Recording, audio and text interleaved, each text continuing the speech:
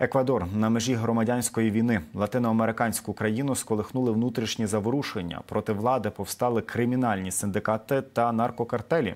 Бойовики е, вчиняють розбої, нападають на в'язниці, беруть у полон і розстрілюють тюремних наглядачів.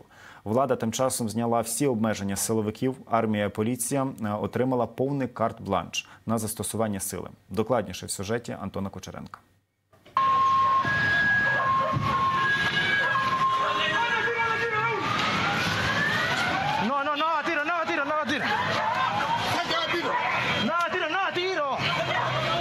Масці з револьвером та пляшкою бензину вулиці Еквадору перетворились на театр ситуативних бойових дій. Держава стоїть за крок від круговерті громадянської війни. Préndelo!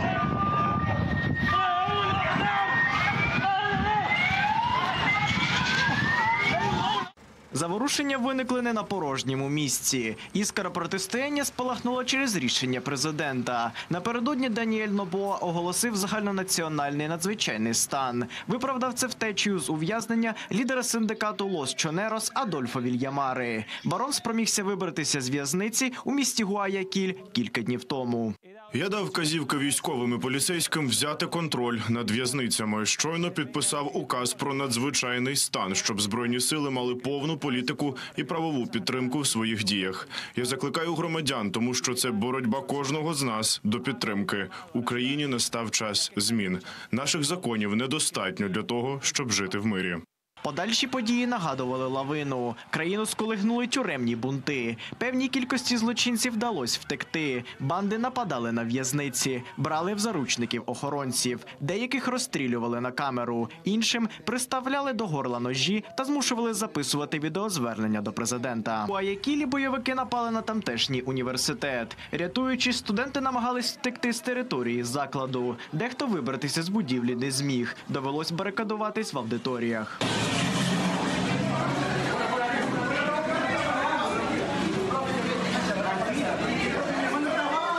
Але найбільш зухвалим актом терору став напад на телестудію у Гуаякілі. Озброєні люди у масках перервали етер наживо каналу Тісі Телевісіон. Зі зброєю у руках терористи захопили журналістів та запрошених експертів. Ведучому показово поклали у кишеню вибухівку.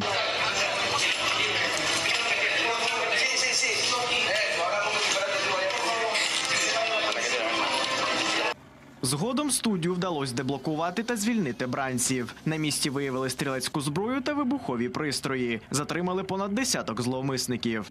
Спочатку ми взяли під контроль зовнішній периметр, вивели всіх працівників з телеканалу. Вже потім увійшли тактичні підрозділи. Заарештовано 13 осіб. Їх передадуть компетентним органам. Ми також вилучили кілька одиниць вогнепальної зброї, дві рушниці, два пістолети, гранати, а також вибухові матеріали. Захопили два транспортні засоби, які використовувалися злочинцями для пересування. В Еквадорі оголосили стан внутрішнього конфлікту. Армію та сили безпеки перевели у повну боєготовність. На вулицях країни з'явилась броньована техніка. Місцеві банди та кримінальні організації оголосили терористичними. Силовики отримали повну свободу дій. Військовим та поліцейським гарантували помилування під час виконання службових обов'язків. Громадськість тим часом у паніці. В країні назріває транспортний колапс. Люди масово покидають домівки. У місті тривожно. Люди йдуть раніше додому з роботи. Багато людей виїжджає. Трафік перевантажений. Всюди волають сигналізації. Хаос. На роботі нам дають вказівки виходити раніше, тому що транспорт затримується. Рекомендую триматися далі від будь-яких підозрілих предметів. Усі нажахані. Ситуація дуже нервова. Паніка шириться як інфекція. Неспокій вийшов за адмінмежі Еквадору. Сусіднє Перу лаштує на півночі війська. Влада розширила масштаби надзвичайного стану в країні.